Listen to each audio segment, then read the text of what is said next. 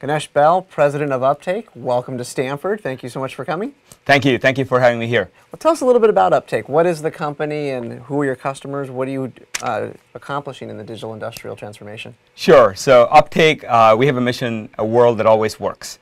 Uh, what that means is simply we are in industries where they're asset-centric.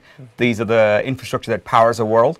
And we build a AI, machine learning, and IoT platform on top of which we're building applications and we're adding deep industrial content. Content meaning we understand that in many of these industries there are critical assets. So we have a database of how all these assets are going to fail. There's about we've cataloged about 55,000 ways these assets are going to fail across many different industries. We like to think of it as 55,000 ways the world will stop working. So mm. we apply machine learning and data science to make sure that we can actually predict and therefore we can drive outcomes for customers. Either it's uptime, reliability, but from there we can optimize their entire business. Well, now previously you worked at GE. You were the chief digital officer for a while. You worked in, in uh, GE Power. Why did you leave GE to go to a startup, which is now a big startup like Uptake? Actually, the most important thing is why I came to GE in the first place. Okay. Um, so uh, I remember when GE called me more than uh, four and a half years ago. They were trying this idea of software. I think Jeff that. Mm time, the chairman of GE had a belief that data and software will fundamentally change the industry. And I had a similar belief that software will reimagine businesses and industries as we know it. So I actually ended up selling GE the idea of digital and ended up being the first chief digital officer and building the power digital business. So it was really a moment of do I believe my own bullshit that businesses and software will be reimagined with software. And I got a chance to go do that at the biggest scale for a long time. And uh, for about more than four years, built a successful business in digital for power, which became the blueprint for all of GE Digital. Mm -hmm. And uh, towards the tail end uh, of my career, where you know some of the biggest believers like Jeff had left, and some of my bosses had left, but I still believe that GE was a fantastic uh, company and a great company. But I also believe that the business model of doing digital was directly in conflict with the existing business model of doing services. So I actually believe that this has to be done in a fiercely independent way. Okay. And Uptake was the best thing out there, and I joined forces with the uh, founder. All right, so if you look at Uptake, it looks like any digital company we could see anywhere in the world, here in Silicon Valley, Beijing, Shanghai, mm -hmm. uh, Berlin. How do you bring domain knowledge of the industrial areas that you're serving with a largely, what looks like a digital DNA company?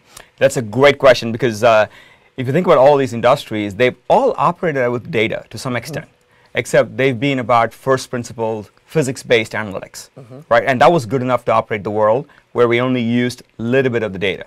But in the last five years, I would say machine learning and cloud technologies have caught up to a point where we can process all of the data, mm -hmm. and with machine learning, we can actually surpass first principles physics-based analytics to get to truly predictive analytics.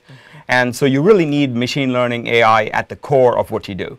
And that's what Uptake had done. In addition, we had actually bought domain expertise with operators. So our head of energy was the head of uh, uh, you know, power, mm -hmm. president of power at Exelon one point, and he was also the chief innovation officer and chief information officer. So knowing that domain matters quite a bit. And we used to do ads in the past that our data scientists wear steel toe boots, and it's actually technically true. Our data scientists visit a wind farm or a mining operations. Uh, so it's combining the domain and knowing people who know the industrial aspect. That's why we also bought a company called Asset Performance Technologies, where it was about 32,000 man hours of domain expertise cataloging every single critical asset, how it fails, what the preventive maintenance strategies is. So digitizing that and learning on top of that uh, is really where the value is. Last week we had Sam Allen, the CEO of Caterpillar, visit our systems leadership class and he talked about what they're doing on digitization. How does a company like Uptake figure out where in the technical stack you want to play and own certain things and where you want to partner with your industrial customers? Actually, uh, Caterpillar is a customer of ours. We started our uh, Uptake started the journey with Caterpillar. There are many divisions of Caterpillar that deploy our software. Um, where we decide to play is very simple, which is there are many companies that sell enabling technology.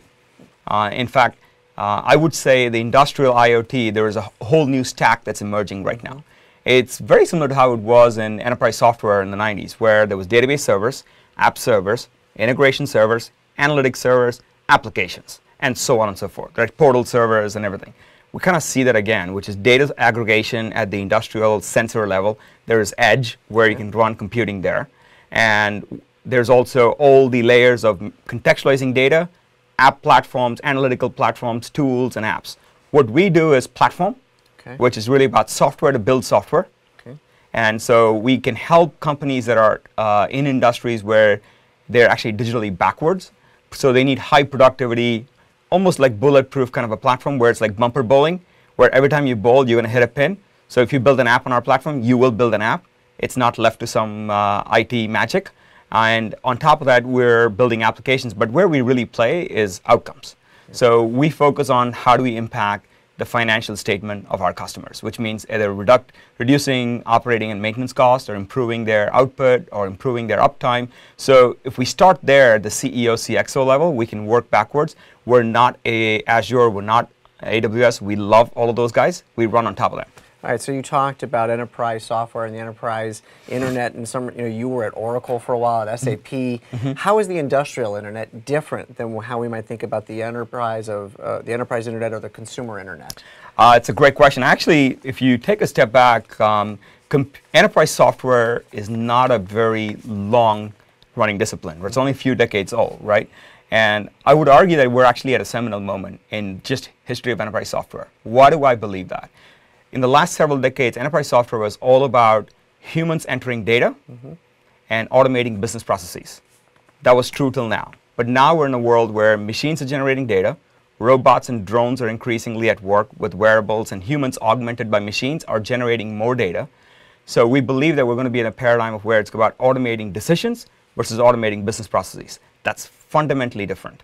And the next thing is we see that in many of these industries that have been left behind, industrial world especially, there is a separation that's happening between what I call the physical model of the industry, which is assets and labor and parts and people, and the economic model, more importantly, the future economic model. If you take a utility, for example, it's no longer about producing electrons. Mm -hmm. It's about selling services beyond the electron. So as the gap becomes wider, there's a bigger value creation opportunity. And I also believe that the technology shift is happening. If you think about enterprise software history, when we went from mainframe to client server, it was a new market. When we went from client server to distributed computing, new market. When we went from distributed to SaaS, it was a replacement market. Okay. So far, we've only redid what we did in a new architecture. We never reimagined. I think that reimagination is going to happen right now, and that's why we believe it's going to be very different.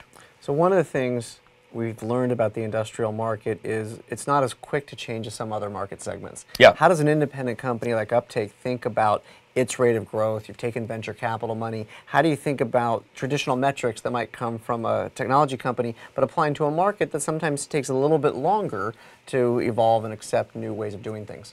Yeah, so startups are going to be always different than large companies where when I was at GE and running a very large P&L, it was about operating profit every quarter, right? Mm -hmm. uh, whereas in a startup, it's really about growth, customer acquisition, and onboarding new customers. So we have lots of proxy metrics. We actually measure things like, for example, how many hours are our algorithms trained on. Mm. For example, some of our predictive uh, machine learning algorithms are uh, trained on over 1.2 billion hours of operating data right? That's an important metric for us. How many models are we deploying? How quickly can we deploy new data science models? But at the end of the day, we're going to measure things like orders, bookings, and how we're growing the customer. But you're right that these industries are long sales cycle. Um, so the question is, can we actually do quick wins? Uh, and also, there are some fast movers. Sometimes we'll do lumpy big deals. And the art is moving from the lumpy big deals to a volume revenue engine. And I think that's the real challenge. Well, Ganesh, it's fascinating to see how Uptake is entering this market as an outside player. We really appreciate your coming to Stanford to discuss systems leadership, and thank you so much for the time. It's great Thank you. You. Thank you for having me. All the best.